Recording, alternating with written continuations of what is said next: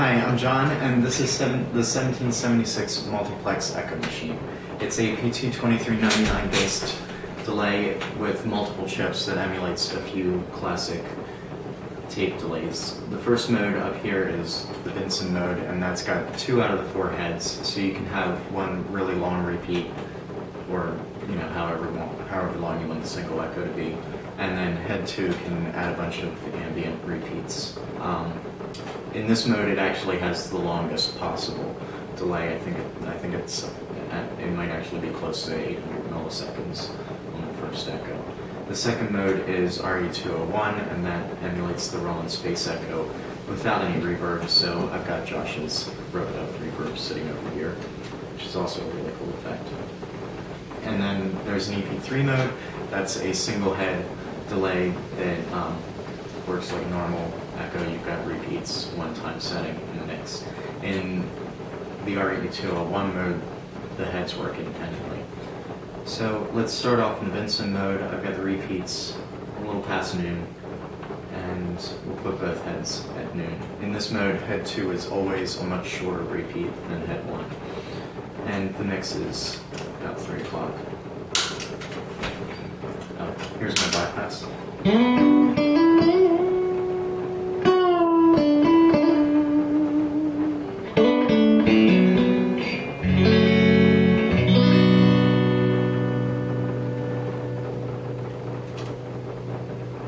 And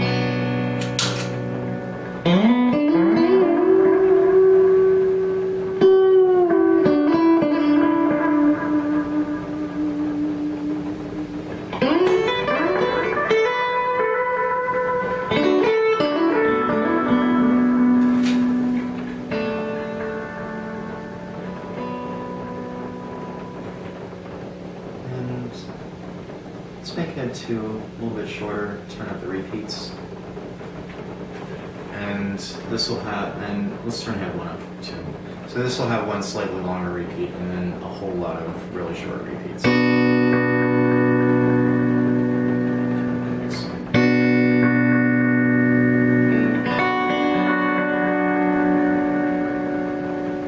So that's a pretty ambient setting. And as you turn up the repeats, you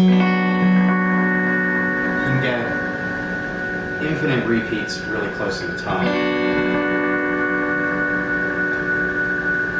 And then in any mode, the last the last little nudge is oscillating with runaway volume. Let's turn the mix back down a little bit. The head's back noon. And go over to the space echo.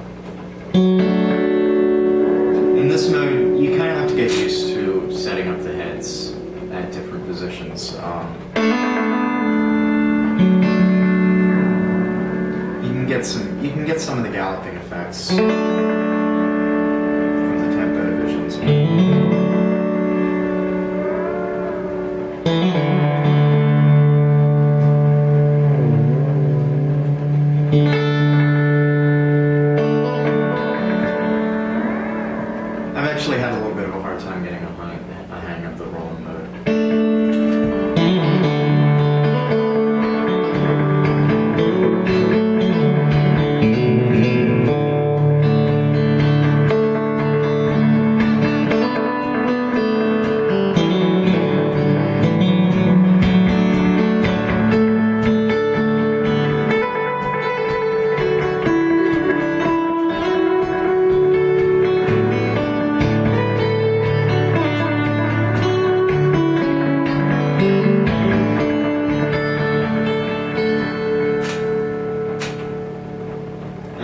Let's turn on the reverb, just so we can hear what it sounds like with reverb.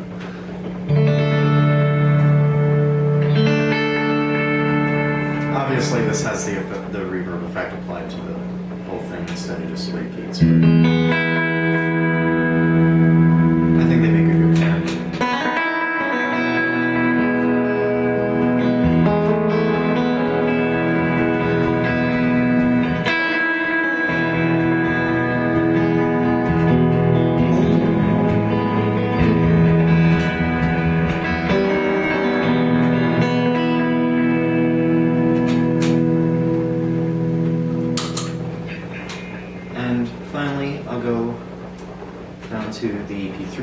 this mode only had two works, and as I said, it's um, the Binson mode actually has the longest possible echo, but this one's not this one's not too short. It's about 550, maybe 600 milliseconds. I have to measure the I have to measure some stuff on the inside to tell, and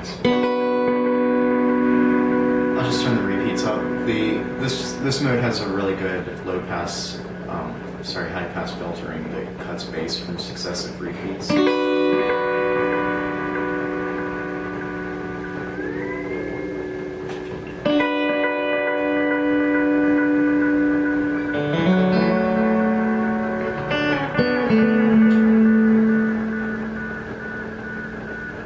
So they kind of they kind of dissolve into something a little more shimmery.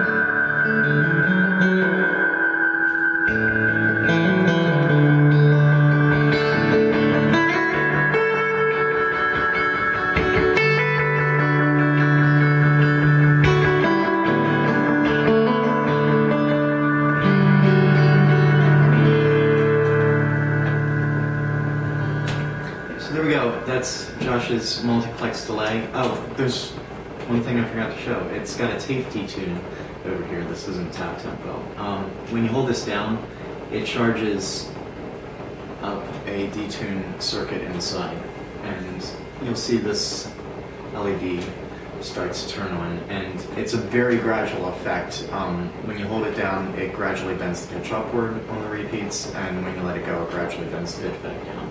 So normally this would be on the floor, and I could do this with my foot, but there we go. That looks fully detuned.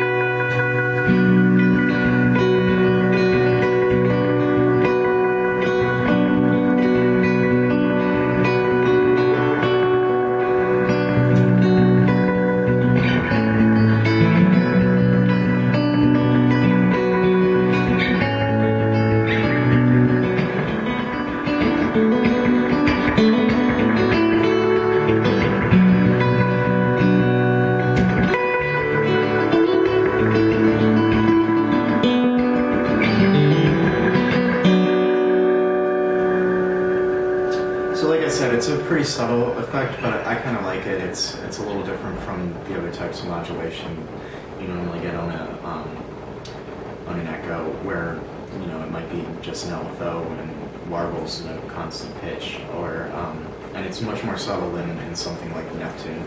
The Neptune immediately bends the pitch and then detunes it to a, um, I mean, tunes it back down to the original pitch. So there we go. That's the 1776 effect. It affects multiplex echo. I highly recommend building this one. It's pretty much the best PT2399 delay I've ever played. Um, I also recommend his rub. It's probably the only time I've really considered putting a reverb on my board. It's actually quieter than my amps. Uh, a little bit of different quality, but they sound good together too. So thanks for watching, and again, check out 1776 Effects. He sells boards through his own website and is, of course, on that forum.